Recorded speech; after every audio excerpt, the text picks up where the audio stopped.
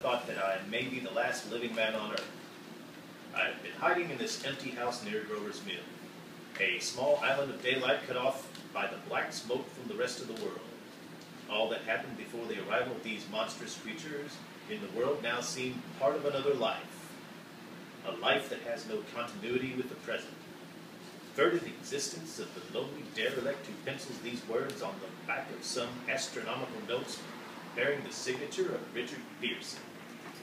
I looked down at my blackened hands, my torn shoes, my tattered clothes, and I tried to connect them with a professor who lives at Princeton, and who in the night of October 30 glimpsed through his tele- telescope an orange splash of light on a distant planet. My wife, my colleagues, my students, my book, my observatory, my my world. Where are they? Did they ever exist? Am I Richard Pierson? What day is it? Do days exist without calendars?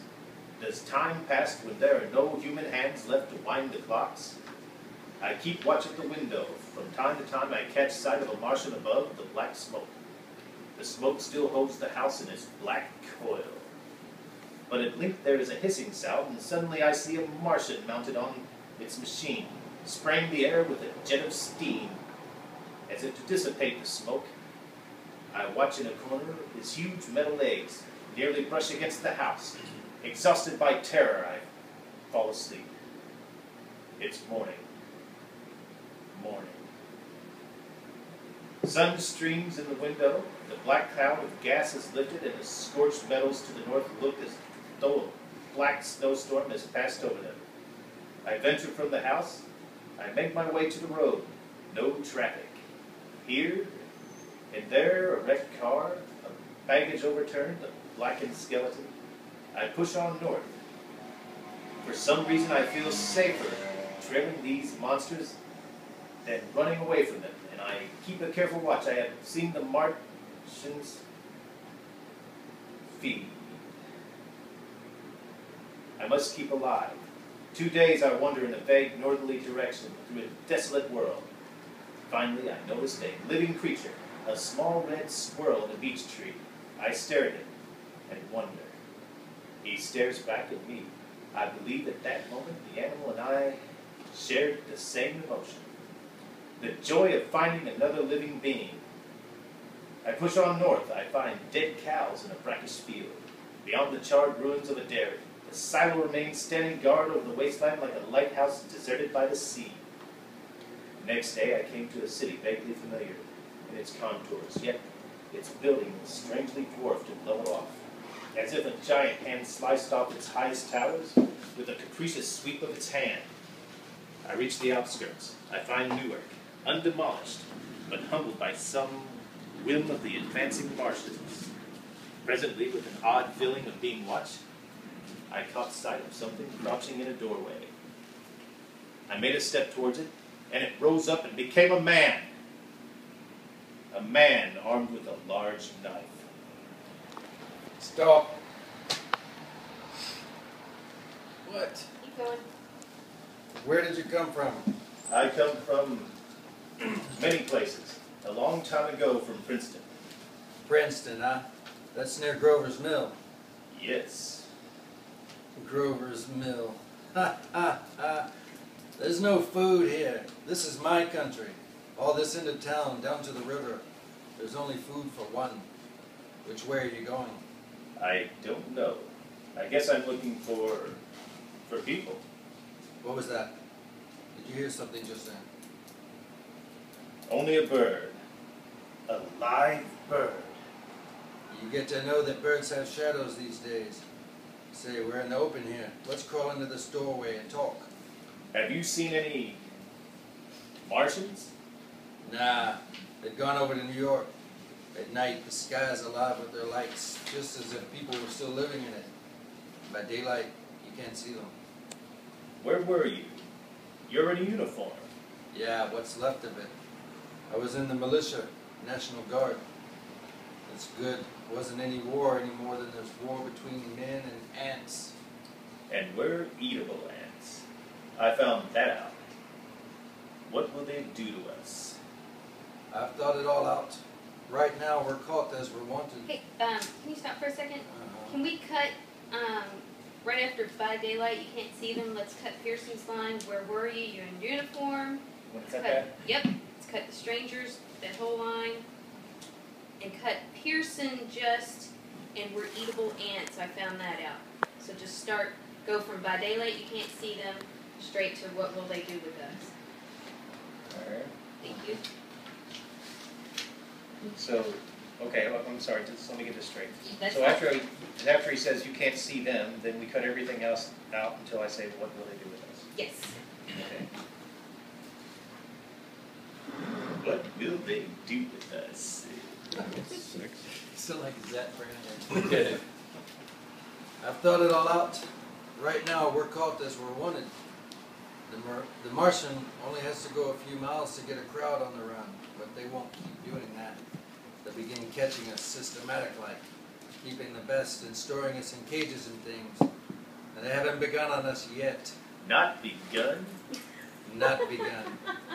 All that's happened so far is because we don't have sense enough to keep quiet, bothering them, bothering them with guns and such stuff, and losing our heads, and rushing off in crowds. Now, instead of rushing around blind, we've got to fix ourselves up. Fix ourselves up according to the way things are now. Cities, nations, civilization, progress, done. But if that's so, what is there to live for? Well, there won't be any more concerts for a few million years or so, and no nice little dinners at restaurants. If it's amusement you're after, I guess the game's up. And what is there left? Life, that's what. I want to live, yeah, and so do you. We're not going to be exterminated, and I don't mean to be caught either, and tamed and battened and bred like an ox. What are you going to do? I'm going on, right under their feet. I've got a plan. We men as men are finished. We don't know enough. We gotta learn plenty before we've got a chance. And we've got to live and keep free while we learn, see? I've thought it all out, see? Tell me the rest. Well, it isn't all of us that were made for wild beasts, and that's what it's got to be.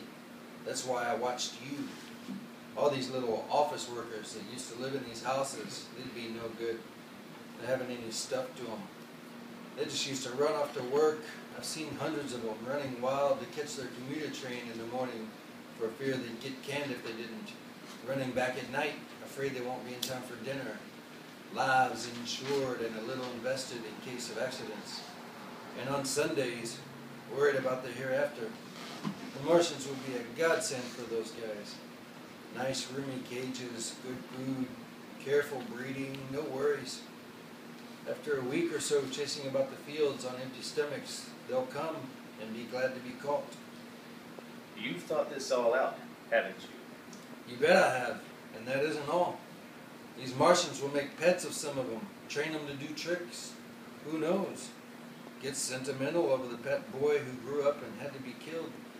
And some, maybe, they'll train to hunt us. No, that's impossible. No human being. Yes, they will. There's men who will do it gladly. And if one of them ever comes after me, why, uh, In the meantime, you and I and others like us, where are we to live when the Martians own the Earth? I've got it all figured out. We'll live underground. I've been thinking about the sewers. Under New York are miles and miles of them. The main ones are big enough for anybody. Then there's cellars, vaults, underground storerooms, railway tunnels, subways. You begin to see, eh? And we'll get a bunch of strong men together, no weak ones. That rubbish out. And you meant me to go. Well, I gave you a chance, didn't I? We won't quarrel about that. Go on. And we've got to make safe places for us to stay in, see, and get all the books we can, science books. That's where men like you come in, see. We'll raid the museums, we'll even spy on the Martians. It may not be so much we have to learn before. Just imagine this four or five of their own fighting machines suddenly start off. Heat rays right and left, and not a Martian in them. Not a Martian in them, but men. Men who have learned the way how. It may even be in our time. Gee, Imagine one having one of them lovely things with its heat ray wide and free. We turn it on Martians. We turn it on men. We'd bring everybody down to their knees. That's your plan. You and me and a few more of us, we'd own the world. I see. Say, what's the matter? Where are you going? Not to your world. Goodbye, stranger. After parting with the artillery man, I came at last to the Holland Tunnel. I entered that silent tube, anxious to know the fate of the great city on the other side of the Hudson. Cautiously, I came out of the tunnel and made my way up Canal Street. I stood alone on Times Square. I caught sight of a lean dog running down Seventh Avenue a piece of dark brown meat in his jaws and a pack of starving mongrels at his heels. He made a wide circle around me as though he feared I might prove a fresh competitor. I walked up Broadway in the direction of that strange powder, past silent shop windows displaying their mute wares to empty sidewalks, past the Capitol Theater, silent, dark, past a shooting gallery where a row of empty guns faced an arresting line of wooden ducks. Near Columbus Circle, I noticed brand new cars in the showrooms facing the empty streets. From over the top of the General Motors building, I watched a flock of blackbirds circling the city. I hurried on. Suddenly, I caught sight of the hood of the Martian machine, standing somewhere in Central Park, gleaming in the late afternoon sun. An insane idea. I rushed recklessly across Columbus Circle and into the park. I climbed a small hill above the pond at 60th Street. From there I could see, standing in a silent row along the wall, 19 of those great metal titans, their cowls empty, their great steel arms hanging listlessly to their sides, I looked in vain for the monsters that inhabit those marshes. Suddenly, my eyes were attracted to the immense flock of black birds that hovered directly below me. They circled to the ground, and there before my eyes, stark and silent, lay the Martians, with hungry birds pecking and tearing brown shreds of flesh from their dead bodies. Later, when their bodies were examined in the laboratory, it was found that they were killed by the putrefactive and diseased bacteria against which their systems were unprepared, slain, after all men's defenses had failed, by the humblest thing on this earth. Before the cylinder fell, there was a general persuasion that through all the deep of space no life existed, beyond the petty surface of our minute sphere. Now we see further, Dim and wonderful is the vision I have conjured up in my mind of life spreading slowly from this little seedbed of the solar system. Throughout the inanimate vastness of the sidereal space. But that is a remote dream. It may be that the destruction of the Martians is only a reprieve. To them and not to us is the future ordained, perhaps. Strange it now seems to sit in my peaceful study at Princeton, writing down this last chapter of the record begun at a deserted farm in Grover's Mill. Strange to see from my window the university spires dim and blue through an April haze. Strange to watch children playing in the streets. Strange to see young people strolling on the green, where the new spring grass heals the last black scars of bruised earth. Strange to watch the sightseers enter the museum, where the dissembled parts of a Martian machine are kept in public view. Strange when I recall the time when I first saw it.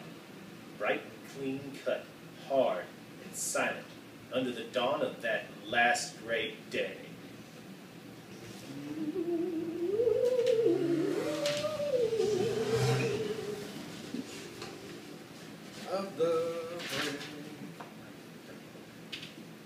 This is Orson Welles, ladies and gentlemen. Out of character to assure you that the War of the Worlds has no greater significance than as the holiday offering it was intended to be. The Mercury Theater's own radio version of dressing up in a sheep, jumping out of a bush and saying boo. Starting now, we couldn't soak all your windows and steal all your garden gates by tomorrow night, so we did the next best thing. We annihilated the world before your very ears and utterly destroyed CBS. You will be relieved, I hope, to learn that we didn't mean it, and that both institutions are still open for business. So goodbye, everybody. And remember that terrible lesson you learned tonight. That grinning, glowing, globular invader of your living room is an inhabitant of the pumpkin patch. And if your doorbell rings and nobody's there, there was no Martian, it's Halloween. Tonight, the Columbia Broadcasting System and its affiliated stations coast to coast have brought you The War of the Worlds by H.G. Wells, the 17th in its weekly series of dramatic broadcasts featuring Orson Welles and the Mercury Theatre on the air. Next week, we present a dramatization of the three famous short stories. This is the Columbia Broadcasting System. Nice, 44 minutes. 44 minutes! 44 minutes, sir! Fire! Ooh. Sir, yes, sir. All right. Um. Good. Good, good, good, good, good, good, good. Um. I love the voice um, of the announcer.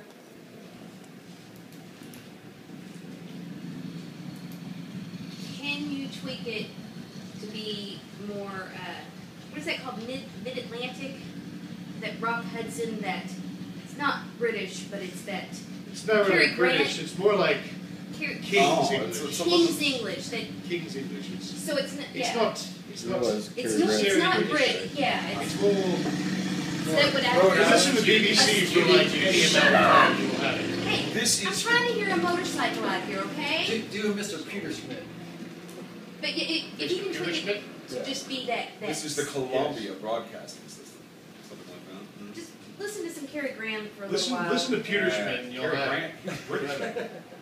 Or Rock. I don't know. You know what the fuck I'm talking about. Do I have to? Just spell people it who out are not here? necessarily British, but rather proper.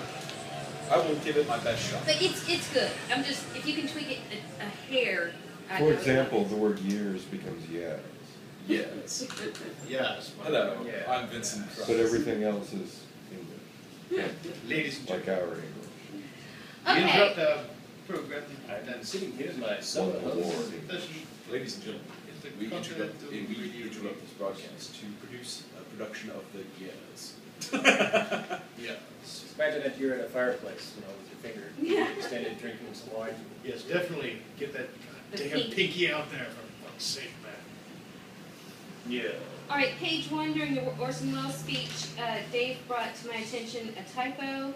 Can you eliminate it because I didn't quite get Yeah, it? this this sentence doesn't work quite right. I figured out what's wrong with it just then. I, it was like fucking in my head, but it, where it says yet across an immense ethereal gulf, it should say minds that are to our minds, as ours are to A R the beasts E in the jungle. verb.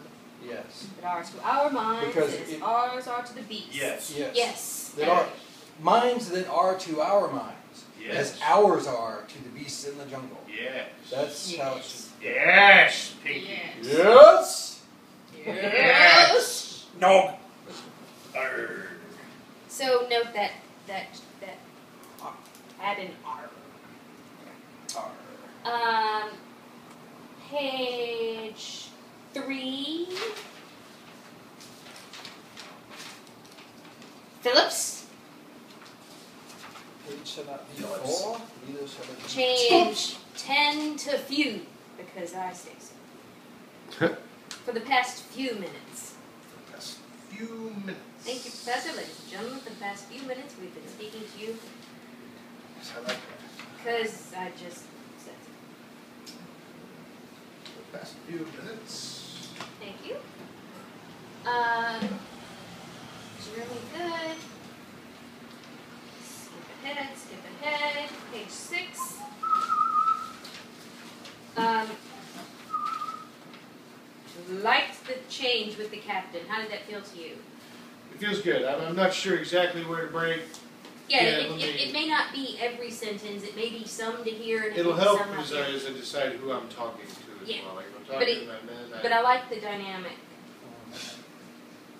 It was fun. yeah, there in the end, I think I'm just sort of unambiguously shouting at You're just shouting. to me. It's like, holy fuck! Yeah, let- gonna kill me. Let's not fall into the John Goodman when he's lazy school of acting. Just yell it. Don't you agree when he gets lazy, he just No, yells? no, I- I'm with you. As a matter of fact, that was the entire last two seasons of Roseanne. Shut the fuck up, Johnny. It's like he God damn it, son! he just gave up. Dude, you used to be funny. He could, he could act, he was subtle, he could do all kinds It's of like, things. He man. just started yelling. You upstaged. Oh, that's right. I get it. Go ahead. Shout on, brother. Go ahead. Just let the pissed off fat woman run the show. Appreciate it. Okay. Um, page eight. Dave, I like your commander voice. Okay. Can I, can I ask a question? Now, he's, is he actually inside a plane flying? Yes.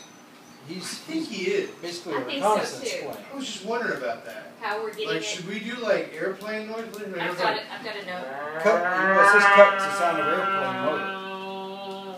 So, in the line before it, you hear the airplane. Yeah, I'll take care of it. Don't you worry your pretty little head.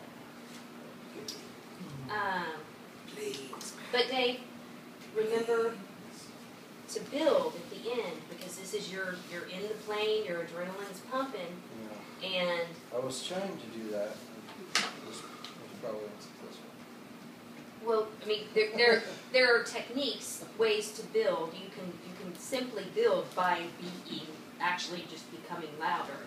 So you can over the you can keep your same voice uh, at first 800 yards, then build 600, 400, 200. You know what I mean? You could just it's a build. Um, and then when you see them, if you if how excited you'd be, you're getting ready to kill the Martians and save the world. I can hear a little bit of that excitement in your voice, maybe something. Throw me a bone. Cockiness. Throw me a bone here, Dave. Okay,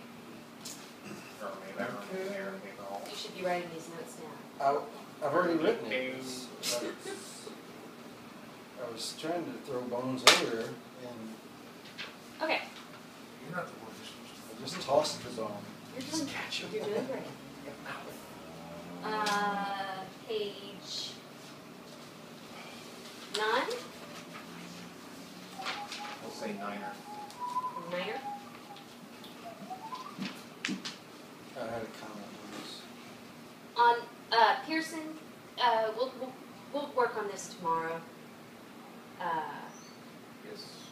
I, I liked there was more dynamics. Um, I really liked some of the. You did some subtle things that I really liked. Um, and we're gonna and, and your future active the the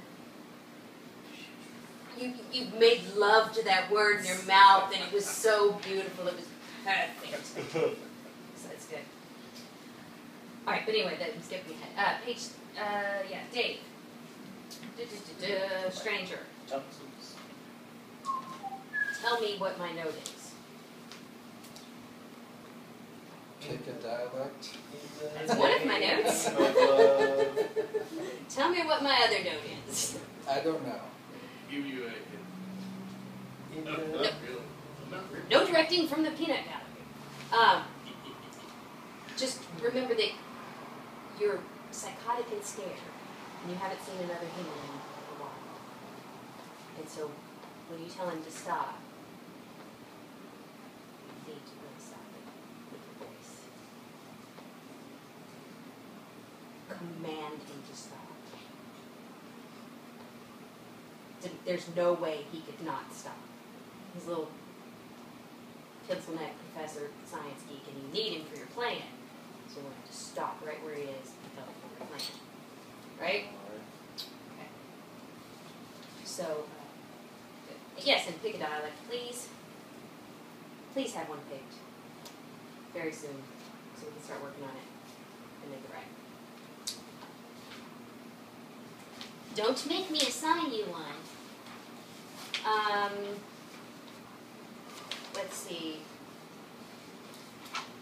Then Dave, page ten, remember to finish know what you're gonna say at the end of that why, at the bottom of the page. If one of them ever comes after me, why, Yeah. go ahead and write out what the end of that sentence is. Why I oughta. And, um, just let Pierson cut you off. So keep talking until he completely cuts you off.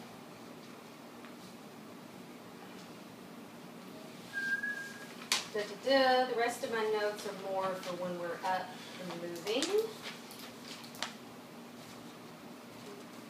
That's it. No. Any, uh, observations, questions, notes, additions, subtractions, multiplications? Quotients, I noticed something, I don't know if it'll help or not. please, maybe.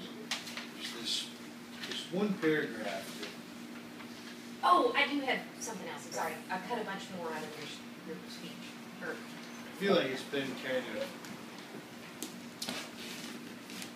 Sorry. There's one paragraph that one announcer says Mhm. that is the most important paragraph in the entire show. which The one? Entire show. It's announcer on page six. Page six.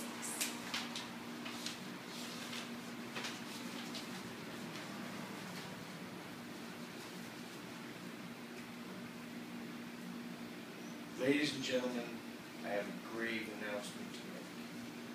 Incredible as it may seem, both the observations of science and the evidence of our eyes lead to the inescapable assumption that those strange beings who landed in the moon, they're gonna kill us all.